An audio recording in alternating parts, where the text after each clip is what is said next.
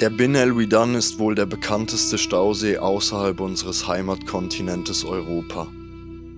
Mit seiner Lage im Atlasgebirge, einer atemberaubenden Landschaft, seinem roten Gestein, einer mächtigen Größe von fast 3000 Hektar je nach Wasserstand und den zahlreichen wilden Karpfen, die mächtige Größen erreichen, hat der See schon früher oft für Schlagzeilen gesorgt und etliche Hunter dazu bewegt, die Reise nach Marokko anzutreten.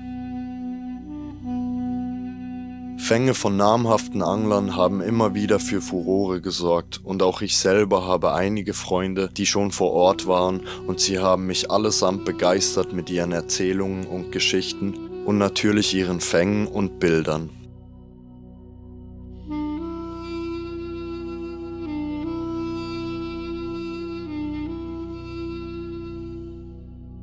Doch die letzten Jahre ist der See in Vergessenheit geraten.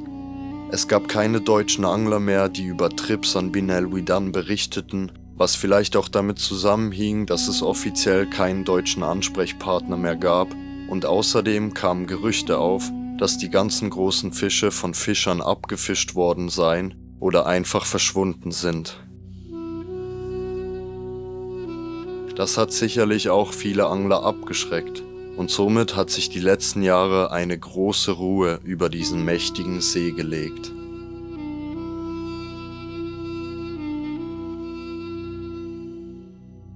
Dieses Jahr soll sich das aber ändern, denn die Jungs von Marokko Carp haben Aaron Rutz als deutschen Ansprechpartner und Guide an Bord geholt. Und somit wollten wir die Chance nutzen und uns selber ein Bild machen, was aktuell die Situation ist und was es mit der Magie Marokkos und dem BEO auf sich hat.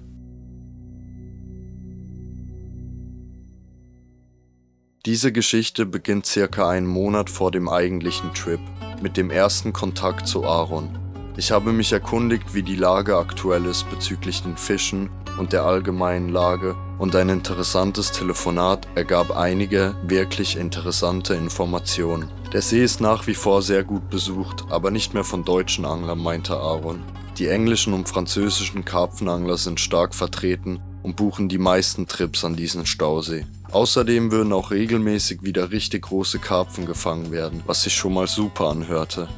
Außerdem sei die Lage sonst nach wie vor unverändert und der Service sei wirklich erste Klasse. Das hörte sich wirklich interessant an und somit war nach kurzer Zeit klar, dass ich dem Ganzen auf die Spur gehen möchte. Wenige Stunden und ein paar Tastaturschläge später waren die Flüge gebucht, was heutzutage einfach mega easy geht. Und der Vorgang wird von den Jungs vor Ort nochmals vereinfacht, denn man hat zwei Flughäfen zur Auswahl, nämlich Marrakesch und Casablanca. Ebenso schnell war auch die Buchung für das Marokko Guiding erledigt. Und da möchte ich kurz schon mal den Service von Marokko Carp beleuchten.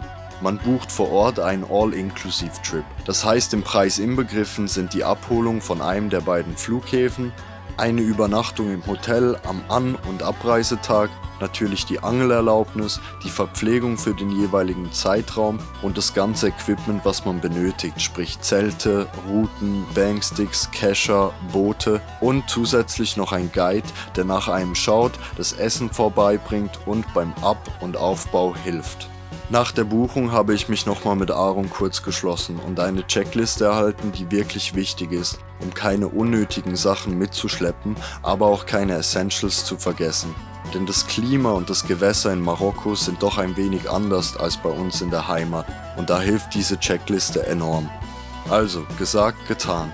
Die vier Wochen vergingen wie im Fluge und ich habe noch letzte Bestellungen wie Boilies und Kleinkram erledigt, meine Sachen anhand der Liste gepackt und bin dann an Flughafen gefahren. Und dort beginnt das Abenteuer erst richtig.